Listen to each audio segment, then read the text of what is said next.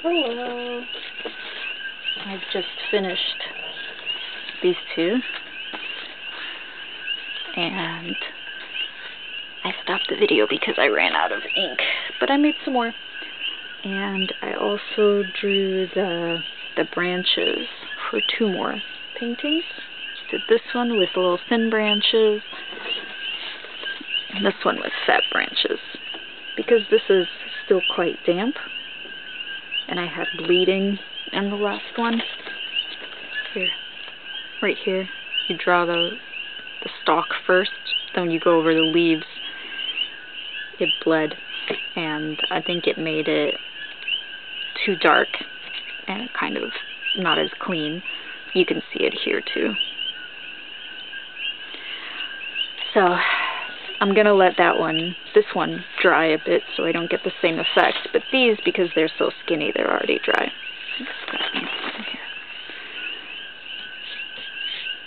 The main problem is that I don't have an idea in my mind for where the leaves should go. I'm thinking, yeah. I've been thinking about like an overall shape, like what would some like cascading shapes look like. Because the reality is that in a lot of instances you can backfill the um, the the stalks, the branch parts. But if the leaf, it's like if everything has to make sense together. You can't really scrimp on anything actually. But I want to develop an intuitive sense for it, and I'm doing that through experimentation. Um,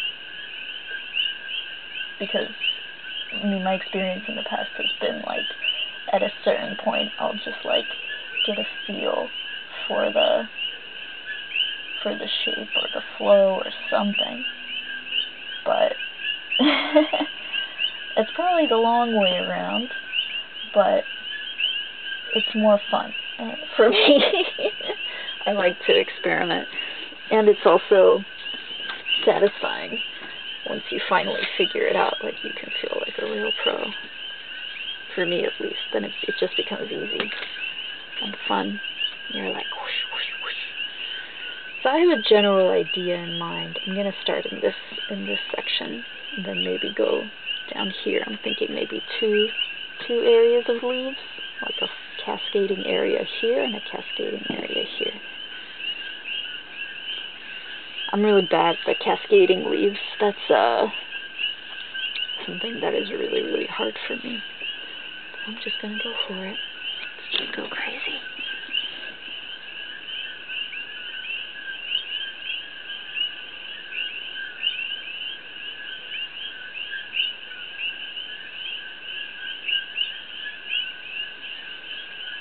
That's pretty.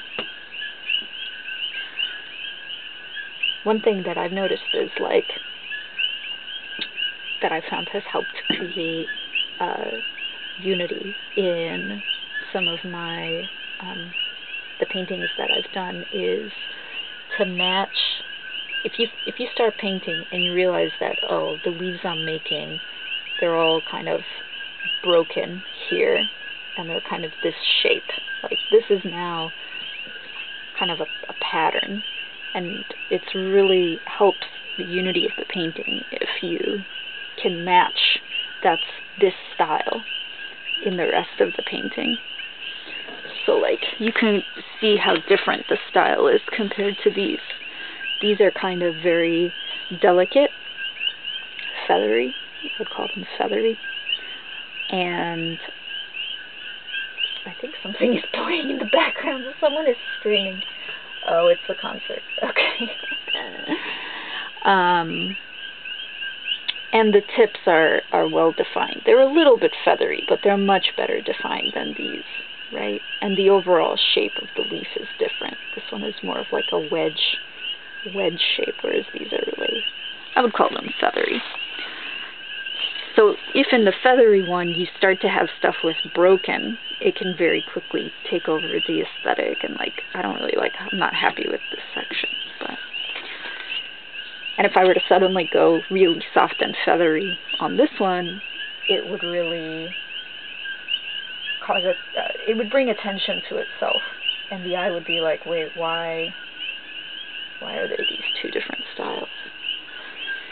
So where did I want to go next? So the current way that I'm approaching groupings is that each grouping has to make coherent visual sense on its own. And then you kind of like, you can layer them. So when you see like a big complicated section, it's actually made up of coherent groupings that are overlaid in a way that makes sense for how bamboo looks. Let's.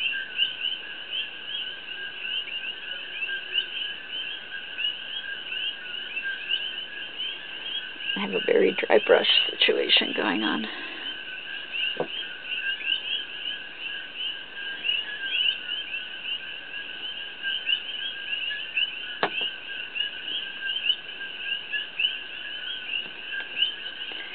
Yeah, not sure about this one. I think I'm going to have to do something down here. I'm out of ink already. Let's use the dirty water. The forbidden dirty water.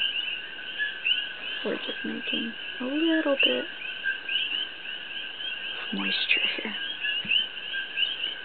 Okay.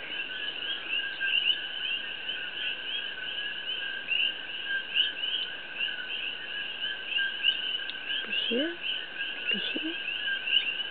It's like where should the the next the next center be? Be here.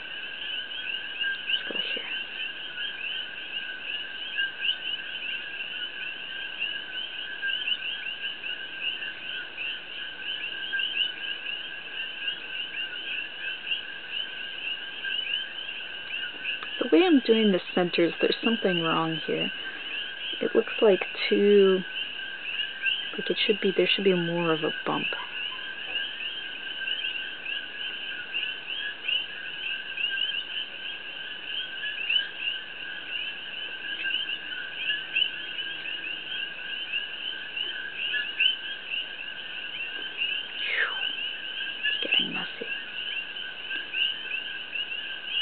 Well, that's just how this one's going to be. Since we're already getting... So one thing that is very nice is, you know, black and gray, right? That adds visual interest. Sometimes just powerful black silhouettes can be very effective and beautiful.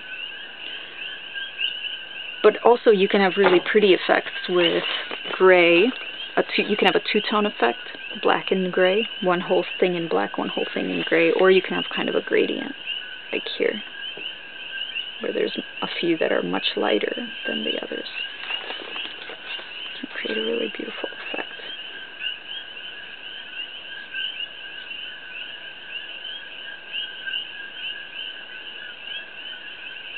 Made another clump.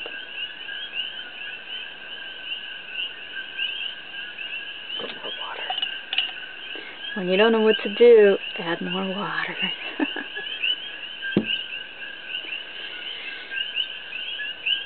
if anyone's watching this who's also a painter, I would love to know how you plan where the leaves are going to go in the composition.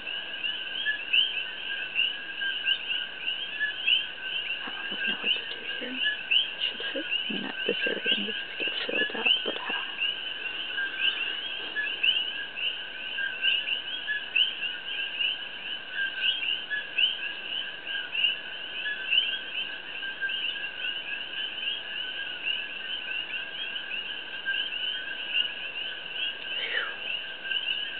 pretty rough time today. Yeah. I don't even know what's going on here. I'm just gonna go crazy.